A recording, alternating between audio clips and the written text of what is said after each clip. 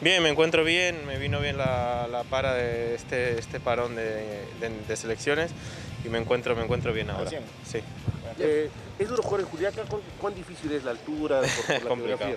Es complicado, es complicado. No sé si han estado ahí, pero sí se nota la, la altura, es, es algo que, que es complicado de adaptarse, pero bueno, es lo que, es lo que hay. ¿Cuánto afectó este viaje, el trayecto? Se habló mucho, el tema de ir en bus, de que no se dieron las condiciones.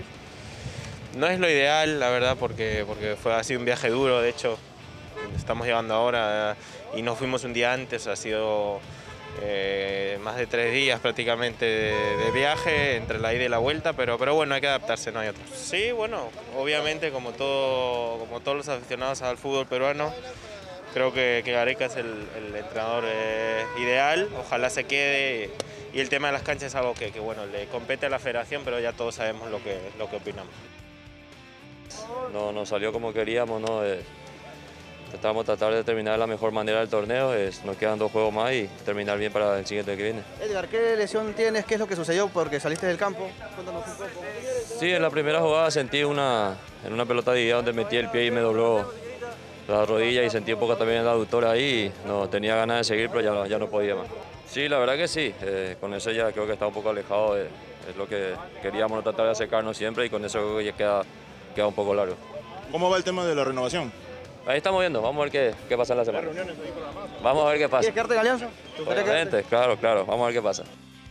Bueno, es un partido que este, fue complicado, difícil, con un primer tiempo parejo y que creo que en el segundo tiempo, después de recibir el gol y quedar con un jugador menos, este, se hace difícil jugar en ese lugar.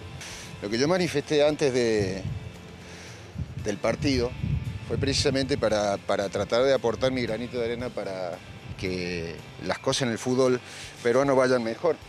Imagínense, a esta hora nosotros demoramos un día para regresar. O sea, a esta hora empezamos el partido ayer, recién estamos acá. No me expresé en absolutamente en ningún momento en contra de ni de Binacional, ni del el plantel de Binacional, ni del comando técnico de Binacional. Solamente traté de expresarme de acuerdo a, este, a lo que creo que debe ser mejor en esta liga.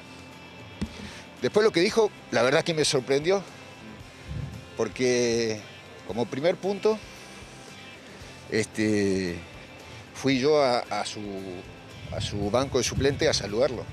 Tengo el mejor de los conceptos de, Wilmar, lo respeto mucho, este, cada, uno, cada uno es dueño de decir lo que quiera, pero efectivamente me llamó la atención porque utilizó la palabra, eh, se lo dije cuando personalmente, y personalmente no me dijo absolutamente nada. Entonces es eso nada más. Me sorprende, creo que a veces en la euforia uno se equivoca, es posible que le haya pasado eso, pero nada más.